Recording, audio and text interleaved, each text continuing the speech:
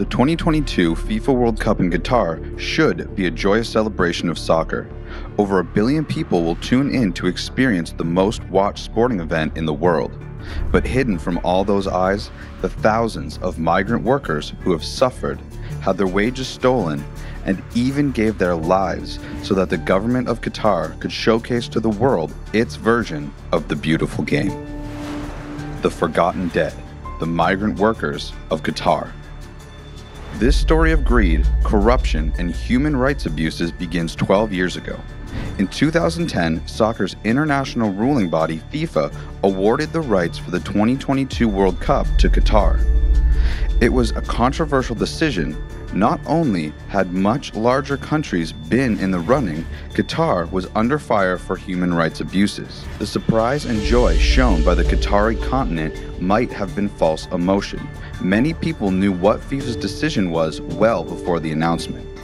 In 2015, an investigation by the U.S. Justice Department implicated over 20 FIFA executives in a bribery scheme. Countries such as Qatar and Russia were alleged to have paid millions of dollars to get the cup. Make no mistake, the bribes are worth it, in a sense. The prestige of holding a World Cup can't be measured in dollars. And FIFA pays the host country. Qatar will receive around $1.7 billion. Of course, FIFA will take in $7.5 billion, a new record. But Qatar, the host country, had to build all of this nine stadiums, 55,000 new hotel rooms, and 20 billion new roads to take 1 million tourists from point A to point B. For this, $220 billion infrastructure project, the tiny country of 3 million people would need new workers. Cheap, disposable workers. And those men and women would not come from Qatar fresh blood had to be imported in from neighboring countries like Bangladesh, India, Nepal, and Pakistan. These migrant workers were brought into a system designed to turn them into modern day slaves, a working system known as kafala. Kafala links migrant workers' visas to the company they work for. The companies have near complete power to hire, fire, and work their employees as they see fit. In Qatar, this means millions of people are there on the power and whim of their employer. Over 85% of the country is made up of migrant workers, and in the months following the announcement that the World Cup would be held in Qatar, those numbers rose quickly. The corruption started right away. To even get a job, workers had to pay illegal recruitment fees. Many companies hired to staff the massive Qatari construction project were all too quick to make an extra buck off of workers looking for a job in the new World Cup site. And construction companies in Qatar made the situation worse by charging recruiters fees that they knew would be passed off to migrant workers. In October 2022, the Human Rights Watch found that many had borrowed money at rates so high that it would take years for them to pay it back, putting them into debt bondage, or the modern day equivalent of an indentured servant. But for Qatar's migrant workers, the worst was yet to come. The biggest and most ambitious project of the Qatar World Cup are the stadiums, eight in all, seven of them brand new. They were built to show off the host country and, of course, soccer. Al Stadium, which hosts the Cup opener, Lusail Stadium, the largest, was seating for 80,000 and other magnificent arenas in and around the capital city of Doha. Ahmad bin Ali Education City, Khalifa International, Al Thumama, Al Janoub Stadium 974. Spectators will enjoy these ultra modern stadiums. Millions all over the world will see them in all their glory, during the Cup and for years after, in highlights. But very few will see this and living conditions like this. Many of the workers who built these stadiums and still work in them live in conditions like these jammed by the dozens into windowless rooms, fed rotten food, and not allowed to leave. Their so called salaries averaged out to $1.20 an hour, and that is after they paid thousands in fees and bribes to even get the manual labor jobs. Why would anyone choose to work under these kinds of conditions? The answer, as always, comes down to money. Qatar is surrounded by countries that have some of the poorest people in the world. The host country, on the other hand, is one of the richest countries on the planet, exporting more natural gas than anyone on the planet. Workers who had little to no prospects in their home countries were understandably joyous. The World Cup looked like it would mean the entire region could experience an economic boom. For a worker from a poor country nearby, a new job with a Qatari company meant that their visa was sponsored. They could enter the country and work legally. The temptation was too great. For example, Nepal, long dwarfed by its neighbors, the superpowers China and India, it has very little work for its citizens. In 2015 alone, Nepal sent about 200,000 workers across the border into Qatar to help build for the World Cup. To even have a chance at one of the manual labor gigs, a Nepalese worker had to borrow the money to pay a recruiting fee. A later investigation found that on average, the fees were $2,000 or 25 times the legal limit. Nepalese borrowed the money at insanely high interest rates, 30% or more.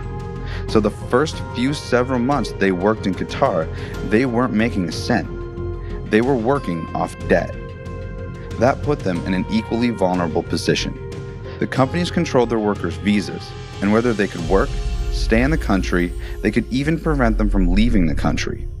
And many took full advantage by withholding wages or refusing to allow workers to change jobs or even go back home, or by abusing the workers physically or making them work countless hours, both paid and unpaid, in deathly heat. The workers couldn't complain, they couldn't leave, they couldn't change companies, and they started dying. Qatar is known for its scorching hot summers. During the month of June, the average temperature is 106.2 degrees Fahrenheit or 41.2 Celsius. When Qatar was awarded the World Cup, critics were quick to point out that the championship was played in June and July, a terrible time for football stars to sprint for 90 minutes of the championship soccer match. FIFA had a solution. First, it made sure that Qatar would be constructing stadiums with advanced cooling systems. Second, it moved the entire schedule from the summer to November December. This rescheduling threw the rest of the world's football schedules into chaos, but no matter. But the players and the spectators would be much more comfortable. The migrant workers building those stadiums, they would have to work those summer months, exposed to deadly heat. The deaths started coming quickly, worked long hours for little pay, under pressure to make sure Qatar gleamed for 2022. Young and healthy workers died by the hundreds.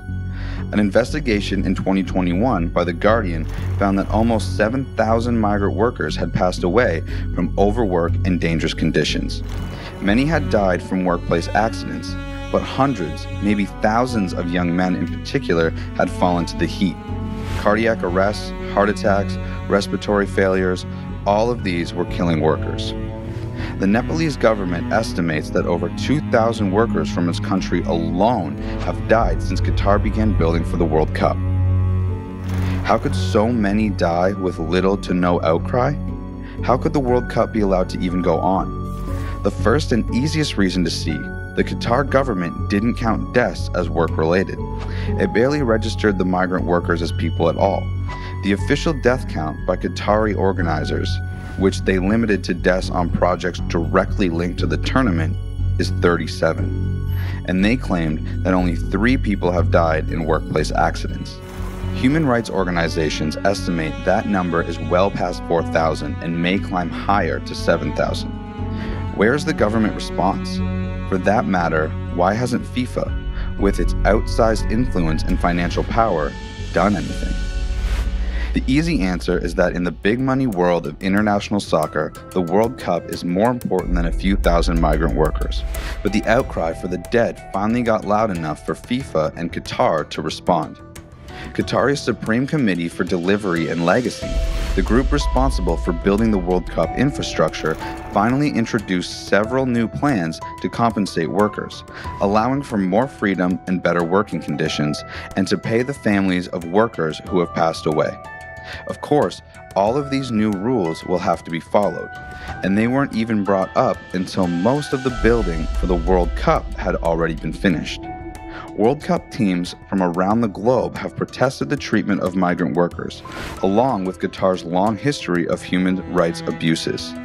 And in fact, Amnesty International has called for FIFA, the sports governing body, to help compensate workers for all of the abuses. They asked for $440 million of the 7.5 billion that FIFA will bring in to be set aside. But the month the World Cup began, FIFA President Gianni Infantino sent a letter to the 32 countries that are sending teams to the Cup. In it, he wrote, quote, We know football does not live in a vacuum, and we are equally aware that there are many challenges and difficulties of a political nature all around the world. But please do not allow football to be dragged into every ideological or political battle that exists. Please, let's now focus on football. End quote. The message was clear. Forget the abuses and deaths that went into the making of Qatar's World Cup. Just keep your eyes on the ball.